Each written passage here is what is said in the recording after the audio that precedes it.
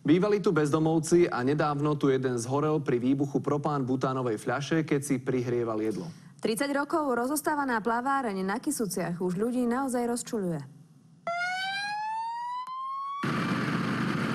Požiari nechal primátor budovu ohradiť z každej strany pletivom. Dúfa, že sa sem už neprispôsobiví občania nevrátia. Budova je v takomto stave už približne 30 rokov. Za ten čas bolo viacero projektov. Ani jeden dodnes nezrealizovali. Je to nekonečná stavba. Mi to povie, že buď na to nie sú financie, alebo to je niekomu úplne jedno. Trebalo by s tým niečo robiť, určite. určite. Myslím si, že aj hlavne teda pre deti, pre mládež e, by to bolo veľmi dobre, niečo, nejaký športový areál. Aj posledný záujemca tu chcel vybudovať biokúpalisko, no mesto tvrdí, že po poslednom rokovaní pravdepodobne tiež svoj zámer zruší. kde nám vyplynulo, že pravdepodobne o tento priestor už záujem nebudú mať.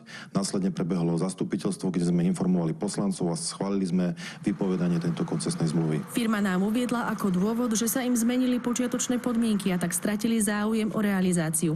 V krátkom čase chcú odstúpiť od zmluvy. Primátor nečaká a dal už vypracovať cenovú ponuku likvidácie stavby. Čiže zbúranie tejto budovy plus odvoz toho materiálu a vyšla nám závratná suma 100 tisíc eur len za, za zbúranie. Z tejto sumy sa musíme odraziť a na základe toho sa musíme s poslancami dohodnúť, čo ďalej s týmto priestorom. Je vraj viacero alternatív, čo by tu mohlo po rokoch konečne vzniknúť. Čo primátor určite sľubuje je, že tu budú ľudia športovať a oddychovať. Z Kisúc, Zuzana Gadušová, televízia Markíza.